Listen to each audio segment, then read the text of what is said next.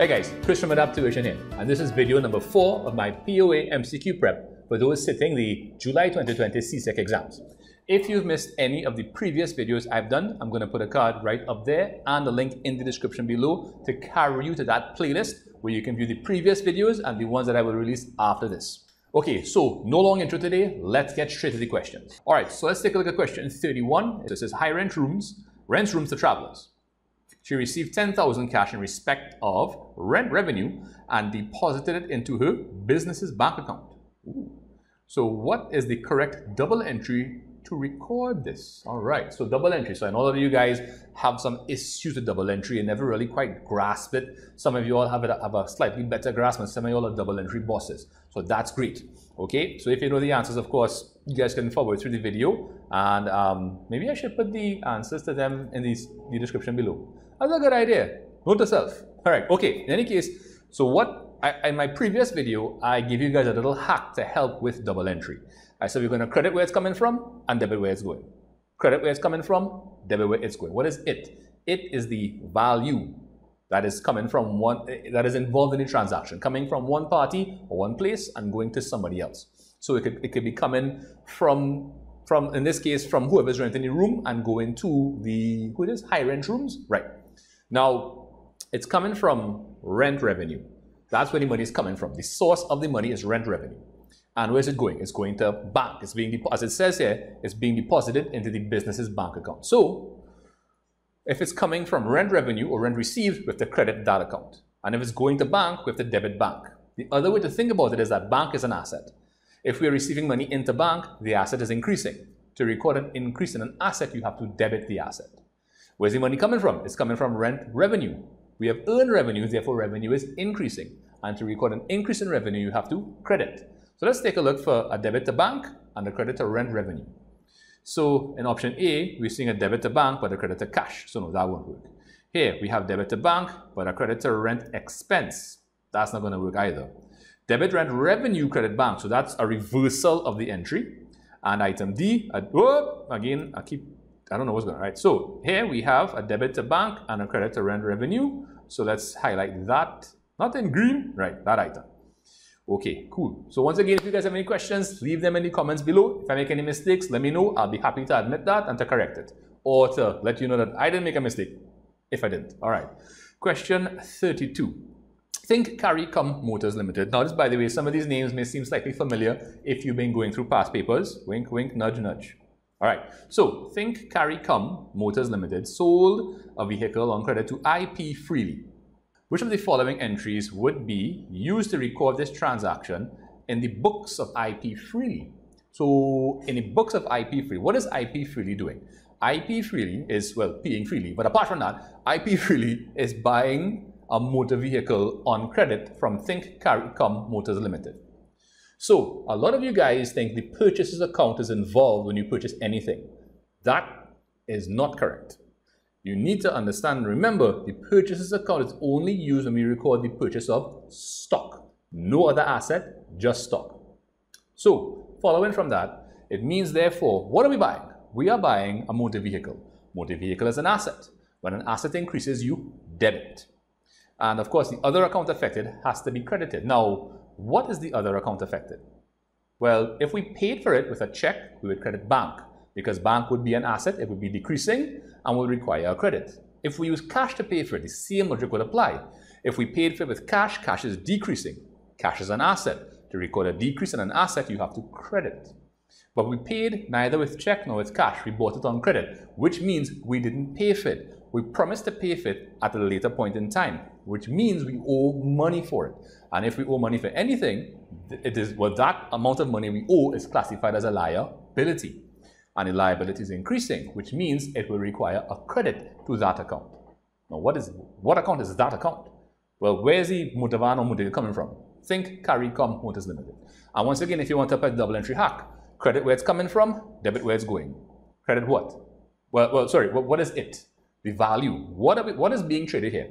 A motor van. So the value of the motor van is going to the motor vehicles account. Where is the value coming from? It's coming from Think Carry Come Motors Limited. All right, cool. So we're looking for a debit to motor van and a credit to Think Carry Come Motors Limited. So item one has a debit to purchases. So once again, purchases is only used to record when you purchase stock, inventory, goods, merchandise, only that asset, no other asset. Debit, think, carry, com, credit, motor vehicle. So that is a reversal of the entry that we said is the correct entry. Debit motor vehicles, yes, but credit to purchases, no. Debit motor vehicles, credit, think, carry, com, motors limited. So we're going to go with that one. All right, so let's scroll back up and then scroll across and we're going to take a look at number 33. So the withdrawal of any resource, cash or otherwise, from a business by the owner for his or her own personal use has what effect on capital? So we know that the withdrawal of any resource, cash or otherwise, from a business by the owner for his or her own personal use is known as drawings. And drawings represents a decrease in capital. So we're going to look through that list and look for a decrease in capital. So no effect on capital. That can be. Increase in capital. Quite the opposite. Decrease in capital. There you go. Okay, none of the above. Well, no, that didn't apply. But some of you guys mightn't revise properly and you're looking for any of those trick answers. None of the above, all of the above, some of the above. Just be careful. They could put things in to trick you. You need to read carefully, pay attention, and most importantly, you need to know your work. Right, so doing these videos is a good way to do it. Browsing over your notes is another good way to do it. Reading a textbook, yes, it's a good way if the textbook works for you. If it doesn't work for you, it might be an exercise in frustration. Now, we're not trying to bad talk textbooks, but at the same time, let's get the questions done, okay? Do what works for you. All right, number 34. The withdrawal of any resource, cash or otherwise, from a business, this looks familiar, from a business by the owner for his own has what effect on drawings? Okay, so they're asking the same question, but one little difference. What is the effect on drawings? Well, when the owner takes a resource for his or her own personal use, that's drawings, and drawings is increasing. So, no effect on drawings. Ah, sorry, I, I speak a different language and I make a mistake. I don't know what language it is. Right, no effect on drawings. No. Increase in drawings. Yes, there you go. It increases drawings. Automatic scroll involved, right? So not it wouldn't decrease drawings and it's not none of the above, so those are scrapped. Right, scroll down, let's check out number 35. So, the withdrawal of any resource, all right, so it's the same thing. Let's take a read. Um, cash or otherwise from a business by the owner for his or her own personal use has what effect on assets? Hmm. So, what is it? What, what was your first instinct? The owner is taking out a resource. Resources are another word for assets, or assets are another word for resources. Same thing, synonyms, right? Semantics. So if the owner is taking out something, isn't aren't assets decreasing? Yeah, think about it. What would be the double entry if you took out cash? Debit drawings, credit cash. When you credit the cash account, what are you in effect doing to the cash account, the balance in the cash account? Increase or decrease? Well, cash is an asset, and if you credit it, you are decreasing the balance in the cash account. So, decrease, decrease in assets. All right, none of the above. Well, no, obviously that, that is no All right, and obviously it wouldn't be increasing assets if you're taking assets out, and it wouldn't have no effect on assets because you're taking an asset out. Okay, let's see. Let's see, what else do we have here? Mm, drawings again. If drawings increases, this will cause, what will it cause? Capital to increase. No. Capital to decrease. Yes. Assets to increase. No. Assets to decrease. Yeah. So I should put this in TikTok like, nope. Yup. Nope. Yup. Anyhow, sorry.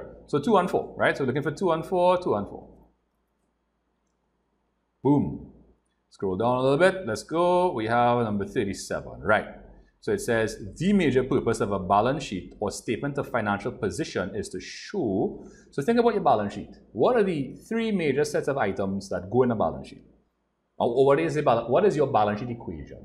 Assets equal to liabilities plus capital or capital plus liabilities, same difference. Or assets minus liabilities equal to capital.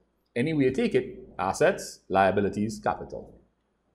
So the profit made by an entity for a given financial period. So some of you may say, well, yeah, we see that in the capital section as a sole trader and technically a partnership and technically an LLC. So yes, but is that the major purpose of a balance sheet? I don't think so. Let's see what else is. The changes in the capital structure of an entity for a given financial period. So what's this capital structure thing you're talking about? Capital structure is basically the capital. structures, how is it made up? If it's a sole trader, they're asking, did the owner put in more capital? Did it take out, take out capital? The capital increase or decrease? Same thing with a partnership. Did the partners put in more? Did they take out? What's the story? For LLCs, did they, did they issue more shares? Did they buy back shares? What happens in the reserves? So capital structure. And also when you get to forms, if, if you're going to do CAPE, you will learn that, that the liabilities, the long-term liabilities, also called debt, they play a part in your capital structure. And you might be thinking, but, but liabilities and capital are not the same thing. How could that be part of the structure? Well, as you go up in accounts, you will learn that capital really refers to liabilities and equity. What we know as capital, whatever the owner introduces, is actually called equity, equity capital. And the total capital is, is really equity plus liabilities. Right? Now you can fight me if you want in the comments below, no problem. Right? I have no problem talking with you guys about it, hearing what you think about it, hearing what your teacher might, might, might disagree, no problem.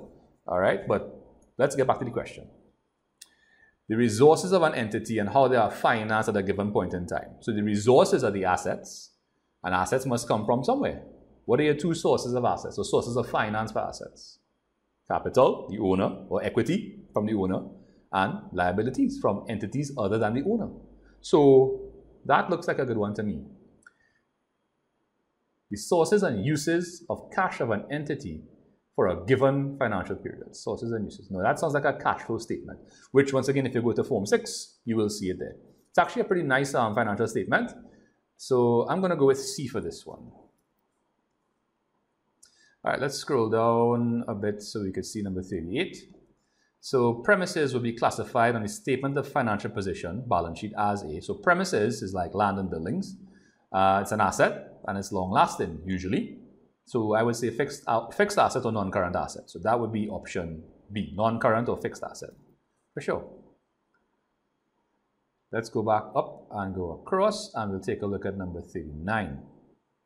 So the effect on an entity's statement of financial position, balance sheet, of the purchase of fixtures and fittings on credit will be, okay, so if we buy fixtures and fittings on credit, so if you buy fixtures and fittings as an asset. So assets going to go up.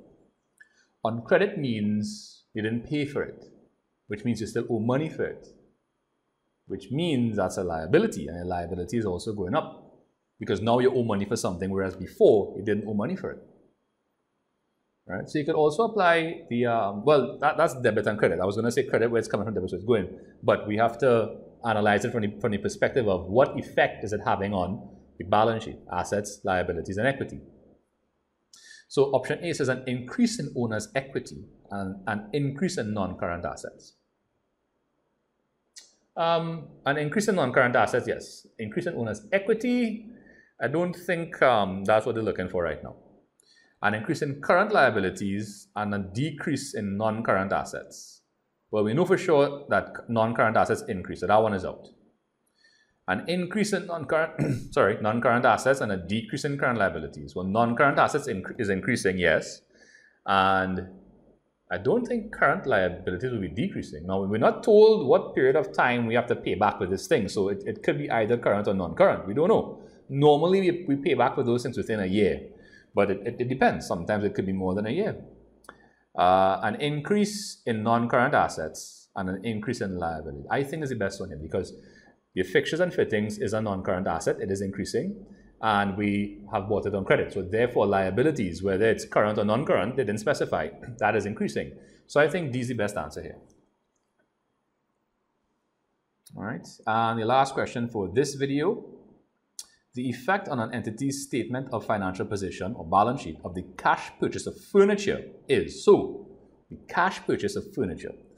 Furniture is an asset, non-current asset, it's going to go up but it's a cash purchase, so cash is going to go down. So you have assets going up and down. So we could we could maybe look for non-current assets going up because that's furniture, and we could look for current assets going down. Okay, let's see what, what options they have. An increase in capital only. I'm not sure, I don't think so, no. An increase in assets and liabilities. Well, assets I would agree with, but I don't see how liabilities comes into play uh, an, an increase and decrease in assets. Yeah, well, that's what we just talked about. So it, they weren't specifying which type or types of assets were, were affected, but we could agree that assets went up and went down because you bought one and you use the other to pay for it. So that item that was used to pay for it, that went down, and whatever you paid for went up. So assets went up and down, up and down, up and down. Sorry, I don't know if you guys know that song. That's from about 12 years ago. You were kind of small at that point in time. Anyhow, um, an increase in capital, no, so that one is out. Okay, guys, so there you have it. So those are 10 more multiple choice questions. Anyhow, guys, sorry, I don't want to take up too much of your time with too much of an extended outro, so you know what I say, all right? Um, once again, if you have any questions, please leave them in the comments below. If you need to check out the previous videos, a link to the playlist with all of these videos will be in this in the comment, uh, sorry, in the description below. And once again, guys, you can be anything you want to be. You can do anything you want to do if you have the correct mindset, a growth mindset, and if you put in the work. There is no substitute for hard work. Along the way, you are bound to have trouble. You're only human. You're bound to make mistakes. Learn from those mistakes. And feel free to ask for help, right? I ask my former teachers for help sometimes, sometimes even my students or students from who go to other schools to find out things that I may be a little rusty on or, or, new perspectives or new notes. So that's fine. And as usual, if what you are doing isn't working, then you're going to need to try a different approach to it. You need to adapt because change is the only constant. Okay guys, thank you so much for watching. If you think somebody else would benefit from this video, please feel free to send it to them, tag them in it on Facebook, send it to them on WhatsApp, whatever the case is. If you haven't already subscribed, I don't know what you're waiting for. You'll be notified every time I release a new video. And usually what I'm doing these days is I'm premiering the video, so I'm chatting with you guys in the, the chat, whichever side it is on, all right? And until next time guys, stay safe, all right? Share your resources, share your love, and I will see you next time. Bye-bye.